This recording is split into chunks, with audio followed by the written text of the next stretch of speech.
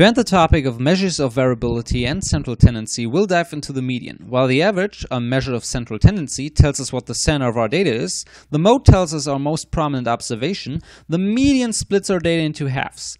Um, so if your data is uneven, it'll take the value right in the middle. So for example, you have 20, 10, and 30.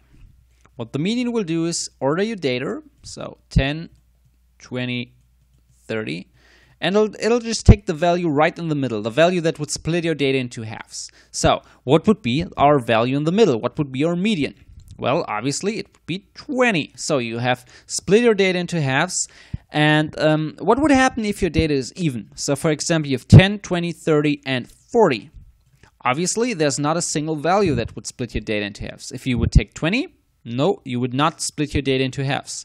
If you would take 30, again, you would not split your data into halves. So what we would do is we just take both values and divide them by 2. You take an average of them. And this would be our median. Okay? Now, you might say you want to have a quick overview of the spread of your data. What you could do is draw a histogram, the one we did in an earlier video. Um, another great way is to draw a box plot. So they usually look like this. So you have your scale, mine is ranging from 0 to 100. You have a little box in there. You have these things. And maybe there, there are some points. And of course, very important, this bar. Okay, now, um, they're I know they look a bit weird, but they're actually pretty easy to read. Now, what does this huge bar mean? This huge bar right here, this is our median. Now, what does that mean? The median splits our data into half. So if this is the value 50, this would mean that 50% of our data is below the value 50 and 50% of our data is above the value 50.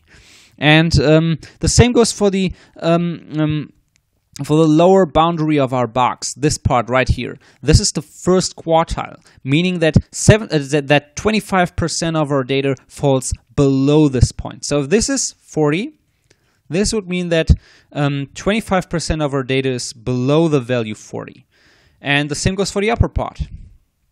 This part right here.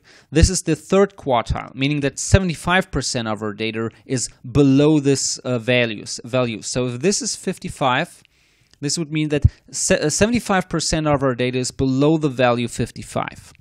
Now, what are those things?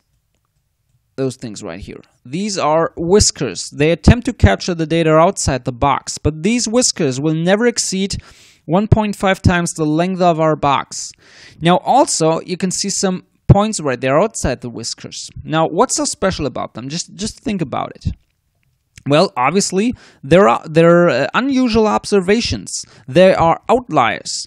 Um, they're very far away from our box and our median. And um, now, now, why are these outliers of interest? Well, first of all, maybe they represent actual error in your data. Maybe you put in a wrong number. Um, and secondly, outliers can have an extreme impact on our data analysis.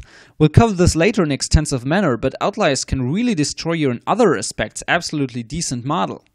Um, they could also skew your measures of central tendency, such as your average, um, because there there are such high and low values, and they're really extreme values. So the uh, box plot is always a great way to look for outliers in your data.